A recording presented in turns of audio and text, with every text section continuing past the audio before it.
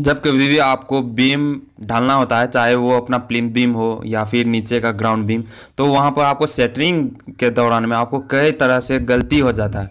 और उस गलती को लेकर आपको ज़िंदगी भर आपको कभी ना कभी खामियाजा भरना होता है। तो दोस्तों, उसी तरीके का जो गलती आपको नज़र में आता है, जब आपका कंक्रीटिंग काम होता है तो जिस तरीके से कंक्रीटिंग का सबसे बड़ा जान होता है सीमेंट में ओके और सीमेंट अगर आपका स्लेरी बह गया, आप जैसे कि यहाँ पर काम जो हुआ है, वो अपना नीचे नीचे करके आपको गैप से आपको सीमेंट स्लेरी बह गया है, जिसके कारण से कंक्रीटिंग में जान भी नहीं। और उसको गैप को भरने के लिए इस तरीके का जो बोरी होती है, वो उसको डालना होता है। फिर भी आपका जो है पूरी तरीके से तो आप गैप नहीं फिल कर कर पाइएगा। जो गैप आप फिल कर, कीजिएगा, वो अपना ज़्यादातर आपको कॉलम का जहाँ जंक्शन होता है बीम और कॉलम में, और रड का जहाँ पर आपको जंक्शन होता है, वहाँ से आपको ज़्यादातर स्लरी बह जाता है। तो ये ध्यान देना होता है दोस्तों, कि आपको इस तरीके का गैप जो है नीचे में नहीं करना है। आप ये कहाँ से आपको गैप कम हो जाएगा तो आपको प्लाई का आपको अच्छी तरीके का वुडन आपको सेटरिंग में लगाना है। जैसे यहाँ पर देख सकते हैं, दो वुडन का जो तख्ता है, उसको फिक्स किया गया है, जो कि अपना बैटेन है।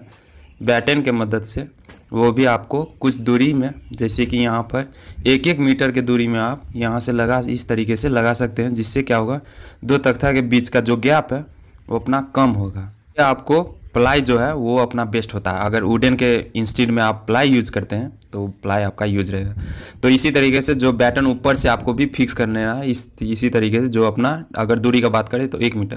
क्योंकि जो गैप रहता है, वो अपना फिक्स रहेगा। क्योंकि जब भी कंक्रीटिंग करते हैं और वाइब्रेटर लगाते हैं तो वहाँ का जो गैप रहेगा, दो प्लैंक के बीच में, जो सेटरिंग के बीच में, वो अपना टसमस इधर से उधर हो जाता है। तो उसको उसको लेकर आपको यहाँ पर इस तरीके से वुडन का प्लैंक जो है, उसको लगा लेना है। और ये, इसका सपोर्ट भी ले सकते हैं। अगर कील और तार से आपको दोनों शटर में आपको लगा कर वहाँ पर बाँध लेना है, जिससे क्या होगा, वो दोनों शटर आपको फिक्स रहेगा एक ही जगह में जब भी आप कंक्रीटिंग करते हैं। दूसरा आप ये भी चेक कर लीजिए जो आप वुडन जो अपना तख्ता यूज़ किए हैं सेटरिंग के दौरान में तो वो आपको ढेर सारी काम सेटरिंग कई जगह पर यूज़ करके उसके बाद से यूज़ हुआ होता है। तो कितना वेस्टेज जो होता है, वो अपना वेस्टेज इस तरीके से आपको निकल जाएगा। तो बेस्ट जो वुडन है, वही आपको प्लाई में आपको सेटरिंग के दौरान लगाना है और जो वेस्ट है, उसको हटा देना है। तो ये आप कंट्रैक्टर से बात करके, जितना भी आपका अगर वेस्टेज तरीके से वुडन है जो अपना अच्छी तरीके से जिसका फिनिशिंग है, उस तरीके का आपको सेटरिंग नहीं लगाना है। सो so, आपको यही चीज़ आपको ध्यान देना है कि शटरिंग जो करते हैं वो अपना उड़ के इंस्टेड में आप प्लाई जो होता है वो बेस्ट होता है। गैप आपको जो बैटन से लगाना है ठीक है? और गैप जो नीचे से है वो सीमेंट स्लरी न बहना चाहिए। उसको उस गैप को अच्छी तरीके से फिल करना होता है जब भी आप कंक्रीटिंग करते हैं।